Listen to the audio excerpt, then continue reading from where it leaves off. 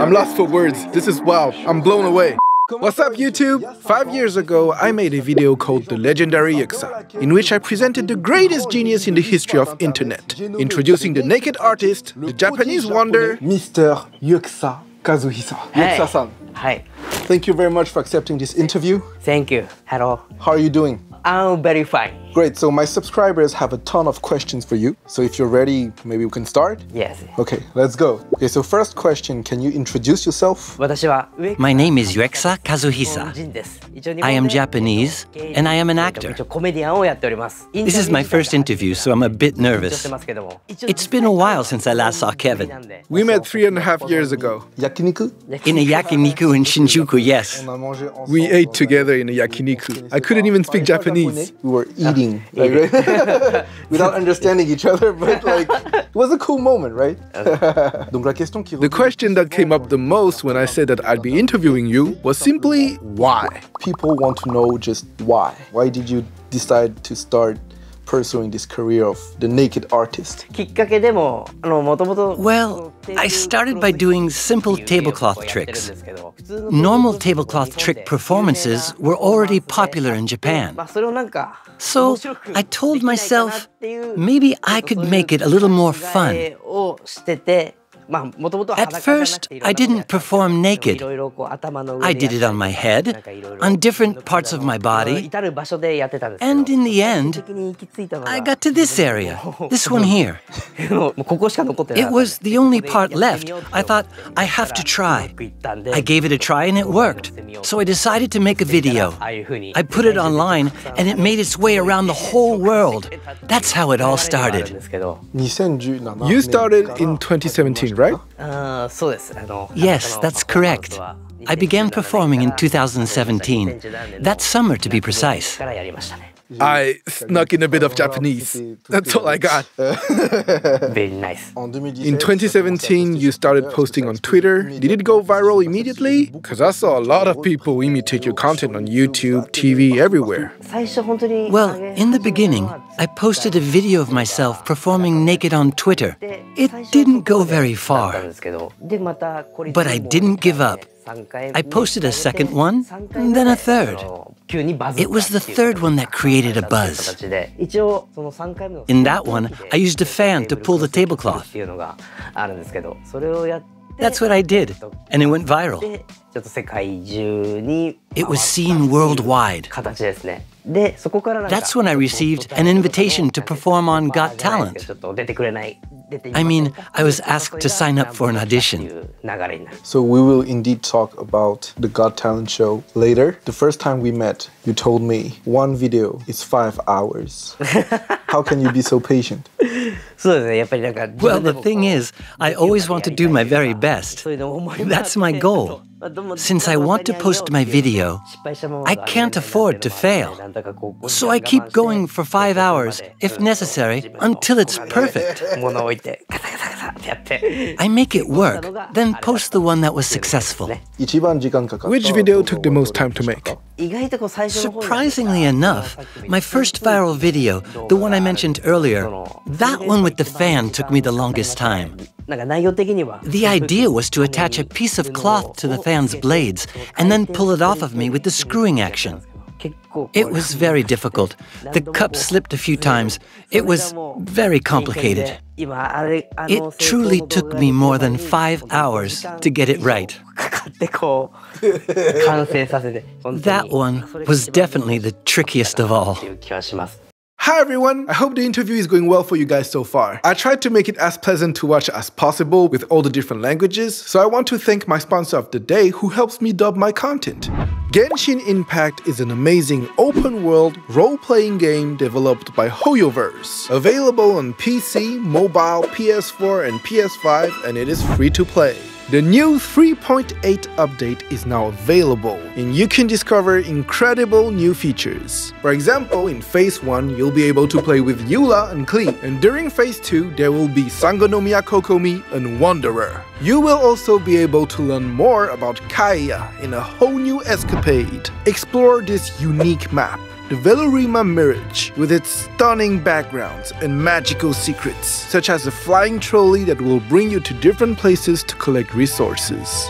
Look at how cool it is! During the Secret Summer Paradise event, there will be incredible rewards to win thanks to the coupons. And four new games are now available. You should try the Turbulence minigame, in which you'll be able to test how good of a shooter you are with those water cannons. There will also be new incredible events, such as the Perilous Expedition or the Adventures Trials. But wait, it's not all! From July 13th to July 16th, there will be an incredible Genshin Impact stand at the Japan Expo convention in Paris. Here, you can discover the entire Genshin Impact universe, and there will also be surprises and activities during those unforgettable four days in the nation's capital. Download the game and have fun on the 3.8 update by clicking on the link in the description or using this QR code. Enjoy! But is it something you get better at? Like, are you better at it now than you were before? I'd say I've become more and more talented. My techniques improved little by little. With time, I've found new tricks to perfect the pull. But in the end, what's the purpose in getting better at it? There are well known techniques for pulling off a tablecloth trick, like pulling hard or at a 45 degree angle. But in my case, it's more a question of courage.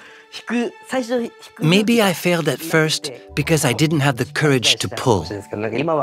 But now that I've found the courage, I can pull without fear of failure.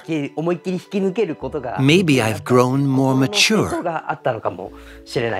Got it? he's fearless, pure courage. Yes, because I see you doing this on TV shows, so you must master it. Indeed. I was able to do it in front of a thousand people like on Got Talent. I think doing it in that kind of place with so many people, helped me master it in the end. But when you're in front of a thousand people, have you ever thought about what could happen if you miss? It would be terrible if I failed. I try my best not to think about it. But I did have a mishap in Japan once. It was on Wake Ari Red Zone, a late night entertainment show. There was no live audience, just a few celebrities on the set. That time, I'd brought a vacuum cleaner with me, the kind where the electric cord rolls up inside of it. I pressed the button on the vacuum cleaner to start the movement to do my tablecloth trick, and that's when the tablecloth and the teacup both slipped away, and everything fell off. で一応モザイク Thankfully, they 上に censored かぶせて to hide all that. 放送はしました before airing the show. モザイクの処理をして放送しましたやり直して I performed it once again, this time successfully. して放送 They broadcasted the successful version first, and my failed attempt ended up in the bloopers. Et comment tu fais How pour, do you euh, stay creative in what you do? How do you find new ways to express your art? Because it seems like sooner or later you'd run out of tu fais des tricks. non そうですねずっともう I've been struggling to find new ideas for a while now, but I'm always searching whenever I can. I don't think they come just like that, sitting on a chair or behind a desk. I go to Japanese appliance stores looking for inspiration. Or the 100 yen shops, where they sell all kinds of stuff. I go to find accessories and think of ways I could use them. I usually concentrate on the smaller articles, like the vacuum cleaner, for instance. I look for objects or dolls that move in strange or interesting ways. What's the favorite object you ever used for one of the tricks? Drones. I really like drones. I use drones many different ways in my tablecloth tricks. There's also the the Kirby doll that moves by itself. It can even make music. When you press on its head, it starts dancing sideways. There's a video in which I do a tablecloth trick with that doll. I hide myself by moving along behind it. I like that video a lot. Did you ever injure yourself while doing a trick? oh yeah.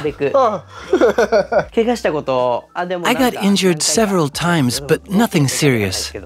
For example, once I hurt my legs during a practice run. You're doing with coffee, hot coffee, and you get burned, no? It wasn't very serious. It was more like, oh, that's pretty hot.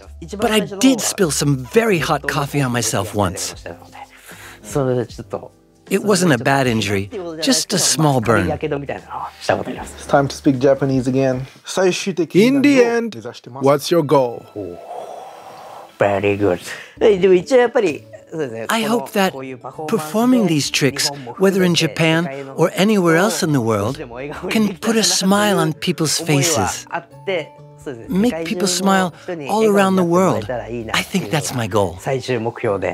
I haven't achieved it yet, but I try to work in that direction as much as I can.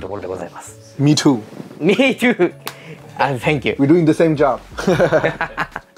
You've traveled the whole world. You even went on Got Talent. But my next question is how are you perceived in your own country? Like, are you a superstar in Japan or how is it?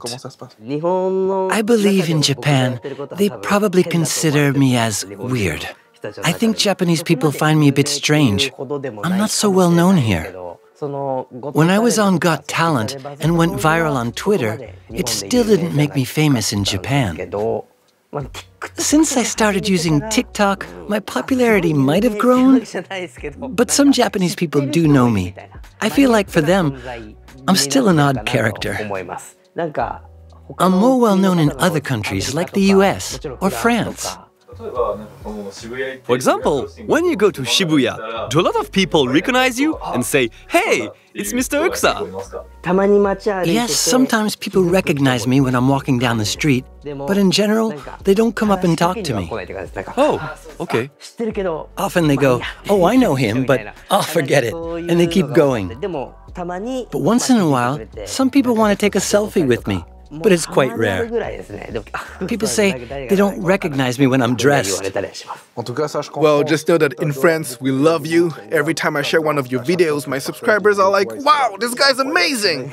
Oh, that's nice. Well, when I took part in France's Japan Expo, I did an autograph session. And when I asked people how they knew me, it was either from France's Got Talent or from your YouTube channel.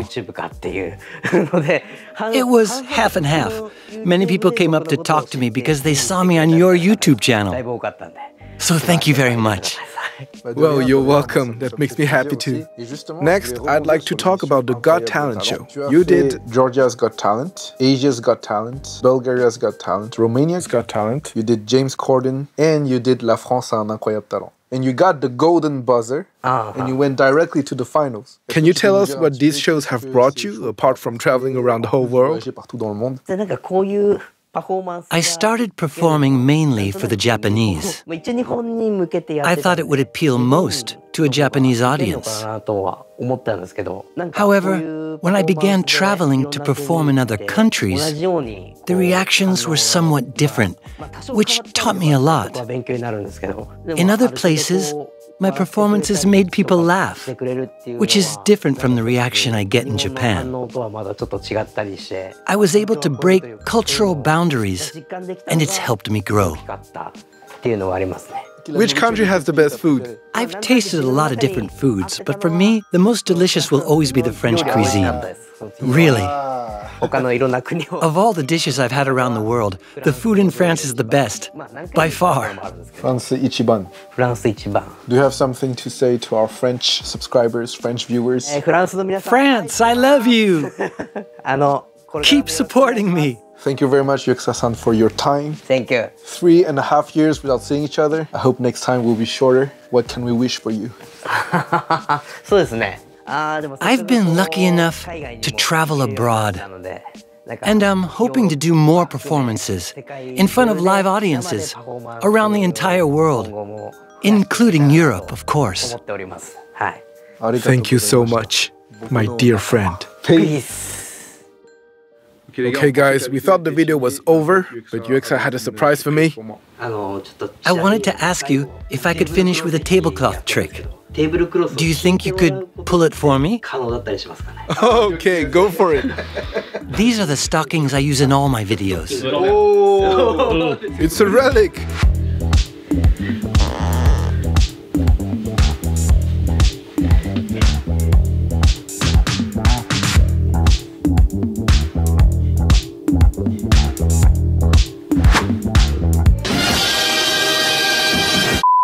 So, how is it going, Kevin? I'm lost for words. This is wild. I'm blown away. I didn't dare to ask him for a live trick. It's awesome.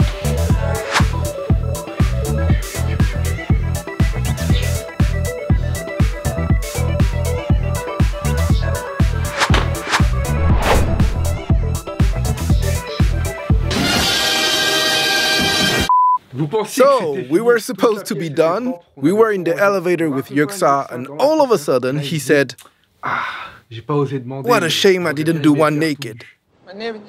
So Mitsu and I, what do we do? We press the elevator button and head right back up. So right now he's changing. Well, more like getting undressed. It's unbelievable.